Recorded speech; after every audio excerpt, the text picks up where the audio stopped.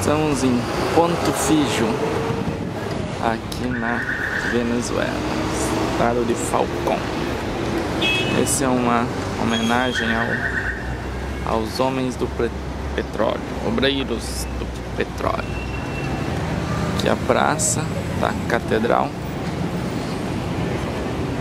E logo ali atrás nós passamos o governo de Maduro decretou que os preços dos produtos eletros, eletrônicos tem que ser o preço justo.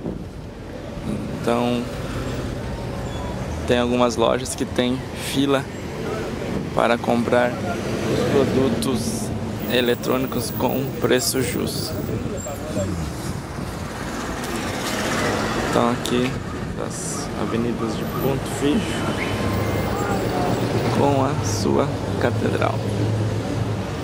Agora eu vou mais ali pra frente pra tirar as fotos do mar, ver se tomo um banho. E depois à tarde vou para Pucaca, que é um dos paraísos reserva natural aqui da Venezuela.